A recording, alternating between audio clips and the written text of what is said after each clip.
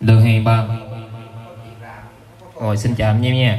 Đây là con Adfest cuối cùng, con thứ tư. À, Mình setup con này là cái uh, cục à, uh, FSR của Bidinger FX 2000 nha. Và con này mình cũng set à, bốn uh, chế độ cho anh em đi làm so thì nó có bốn mod như sau. Hay bây giờ mình uh, thử anh em nghe luôn nha nói chung mà để giới thiệu thôi anh em nào xài Behringer X2000 MX2000 mà có setup thì liên hệ bên mình nha. Đầu tiên là có hình số 1 có hình số 1 thì nó sẽ chạy chuyên về eco nhưng mà có tiếng vợt nó chạy theo nha. Lượt 1 2 3 4 5 6 là anh em sẽ nghe cái tiếng và eco rất nhiều nhưng mà có vợt nó chạy theo sau đuôi nha. Hi hi hi hi. Lần. Đó số 2 thì dành cho đó, mấy anh chuyên nghiệp hơn thì mình sẽ nó chạy vợt nhưng mà eco nó sẽ chạy theo sau. Đó nó ngược lại với cái hồi nãy là cái này nó vợt ưu tiên vợt eco nó nó chạy theo đuôi nha. Lên 1 2 3 4 5 6 1 đó tiếng vợt nhưng mà eco nó sẽ chạy sau đuôi cho mình. Đó. Thì cái này anh em mà có chất giọng thì hát cái chế độ này thì rất là hay nha còn không chuyên cây nhà lá giường thì hát cái số 1 lúc đầu mình set up là nó ưu tiên về eco tiếng vợt nó chạy theo sau.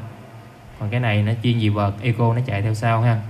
L23 456 7890 L23 456 7890 anh em đang uh, nghe demo mình set up là chiếc FX 2000 nha đang kết nối với mixer làm eco G nha.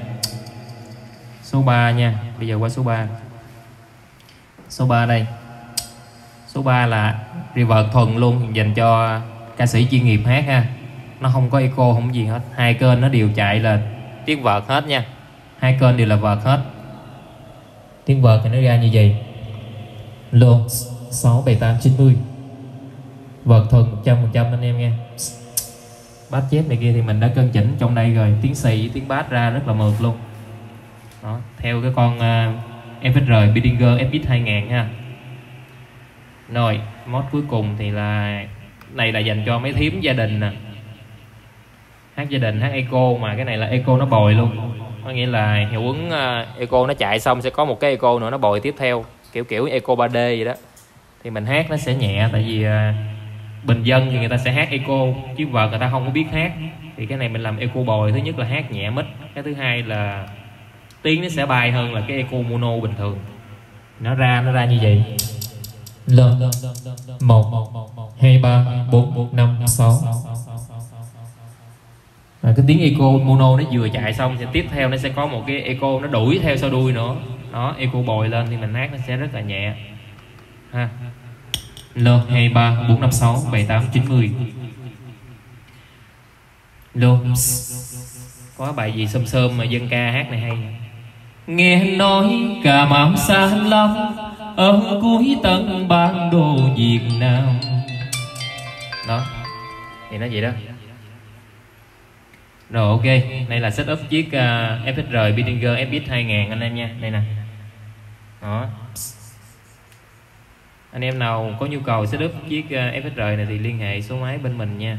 0938 641 445 hoặc là 039 268 9745 nha.